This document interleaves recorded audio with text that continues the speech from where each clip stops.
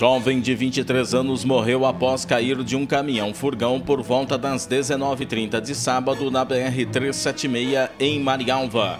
O acidente aconteceu nas proximidades do posto da Polícia Rodoviária Federal e, segundo informações, Mário Pimentel Barbosa, 23 anos, estava pegando rabeira no caminhão, se desequilibrou e caiu na pista de rolamento. O perito do Instituto de Criminalística, Luiz Clemente, esteve no local e tem mais detalhes.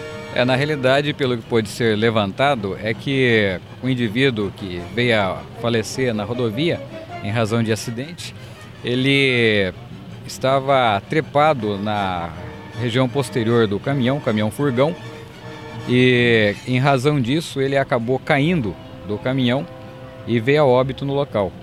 E sofreu fraturas e lesões graves e veio a óbito no local.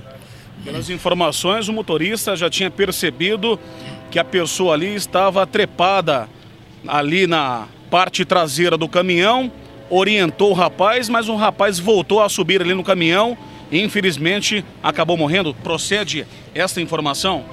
É, a informação que nos passaram, né, de populares ali, e inclusive tem uma testemunha, é que anteriormente o, a vítima teria subido, estava é, trepada no caminhão, na parte posterior do caminhão furgão, e aí o caminhoneiro foi avisado. Aí ele parou o caminhão e a vítima desceu.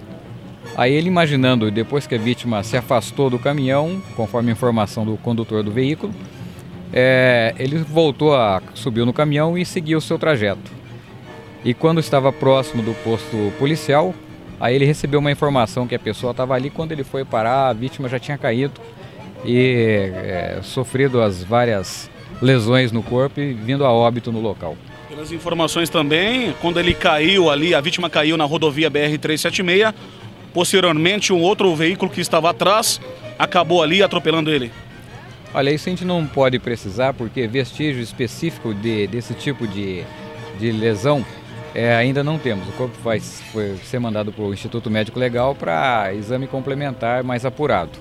Né? Porém, a, o próprio um veículo a 60 por hora, ele desloca aí 17, em torno de 17 metros por segundo. Né? Então a vítima ela é lançada pelo princípio da inércia, se ela cai, ela não fica parada no próprio local onde ela, ela cai.